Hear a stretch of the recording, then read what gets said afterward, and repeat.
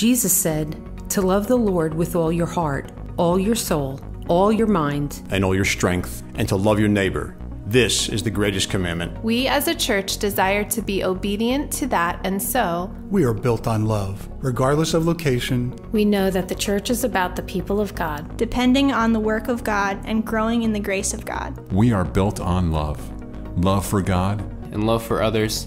And it's on that foundation and it's on that foundation and it's on that foundation And it's on that foundation that we build our church.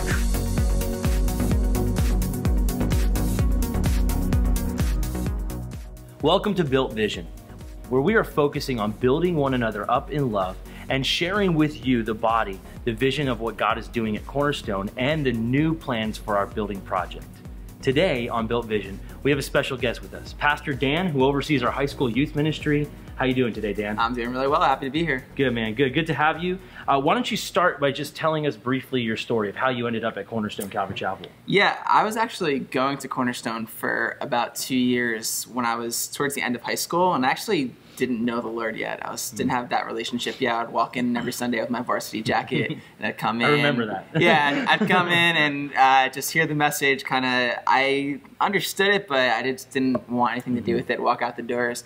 Uh, when I was 18, right after I graduated high school, through a couple different events in my life, through a, a death of uh, one of my friends in the community, the Lord drew me to Himself, and I just really started to make that relationship with the Lord my own. Came to faith and just started walking with the Lord, serving Him, and was able to get plugged in really quickly here uh, to the community. Just got a lot of friends, and people just came around me, and was discipled by a lot of young guys, and it was just awesome. So I've been serving the Lord ever since. That was about eight years ago. That's awesome, man. Yeah. Such a blessing to see what the Lord does. You Absolutely. Know? absolutely. Um, so now tell us a little bit about your vision for the youth group in general.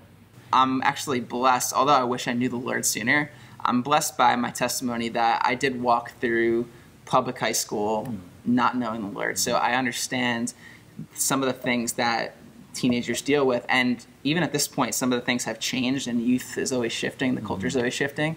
But some of the things still are the same. So my vision is to, to see kids just have that true relationship with the Lord. And I hmm. think that the way that that happens is not so much of them just constantly hearing the truth, because a lot of these kids grow up in children's ministry. They know all the Bible stories, they know, you know, all these things, but they never really experience God. And mm-hmm. I think that until we have that encounter with God and, and we experience the, the work of His Spirit, then we'll never really truly understand what it means to walk with Him. So I like where it says in James that we're to be doers of the word and mm-hmm. not just hearers only. He says mm-hmm. that when we're hearers, we're like a man who observes his face in the mirror, sees that there's a mess on it, and then goes away and leaves. So for kids, I want them to understand what it means to be a doer of the word. So in youth ministry, as the youth pastor, I want to give them an opportunity to do that, an opportunity to serve the Lord. So we do a lot of outreach, we do evangelism, uh, opportunities through missions, opportunities for the kids to, to share the word on a Friday night and, and to teach and do a devotion,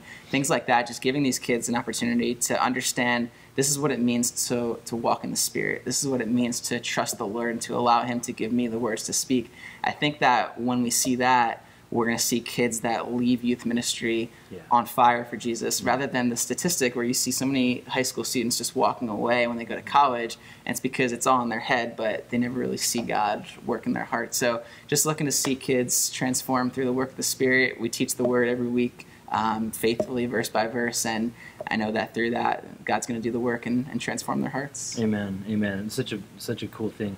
Such an amazing thing. The youth ministry. I know in my life as a kid, I was so impacted by the youth ministry of our church, and um, and just seeing how so many of these kids are are growing in the Lord, and then when they're done with high school, they're they're not done with their walk with God. Right. And that's really the goal, right? Absolutely. Is to prepare them for what's next. And so, so now let's talk about the the big exciting news for the youth ministry, especially I feel like, um, is the new building. Yeah. Right. We have these plans to build a, a nice new building, and it's going to have a gym, multi-purpose area. It's going to have dedicated space for the youth ministry. Uh, so, talk to me. Tell me a, a little bit about how can the vision of youth ministry be so much more expanded uh, through a new facility? Well, I mean, how many years was I on your case about Mike? We need a gym. We need we need a youth building. Uh, so I'm, I'm just so excited when I, when I heard that we were doing this this project. Uh, it's exciting because we want to reach the community, you know, and this area of Howell and Brick and Jackson, all these local areas, we want to see high school students come out and be excited. And I tell the youth all the time, invite your friends. We, we want to be in outreach here. And I think that this building is going to give us the opportunity to do that. Mm. The thing with high school students and with youth in general is they want their own space. You know, mm. they don't they don't want to feel like they're just in their parents' space and yeah. kind of like yeah. you know they want their own space where they can have it you know decorated the way they want and where they can kind of take ownership of it. So I think this building is going to give us the ability to do that to really have a space where it's a youth space, it's it's a young space. Mm-hmm. Everything about it is, is structured in that way where we have worship there. We have a gym. Uh, that gym's going to enable us to do just a lot more ministry, uh, even beyond youth ministry mm-hmm. with sports and with. Yeah. I think that the Lord can open up doors for sports camps and yeah. and things like that. Just outreaches, open gyms to the community mm-hmm. where you mm-hmm. bring people in and share the gospel. So just really excited for how that extra space is going to enable us to to reach people and ultimately you know that's that's what this building project's about you know it's, it's not just about us having more for ourselves right, so that we can you know it's it's about people and it's about reaching the lost. And you know I think that as long as that's our heart you know, God's going to do a great thing and he's going to bless it. Amen. Amen. Well thanks a lot Dan. I appreciate you joining us today for Built Vision. Absolutely. and uh, we'll look forward to another time we'll invite you out. Maybe we'll go get some video of some of the kids sometime and and see how they all interact and how they might benefit from a new facility as well. Absolutely. so God bless you man so grateful for the ministry that you do and and the ministry uh, that the that the youth are enjoying so much. So thanks a lot. Awesome. This has been Built Vision for today. Look forward to seeing you guys next time.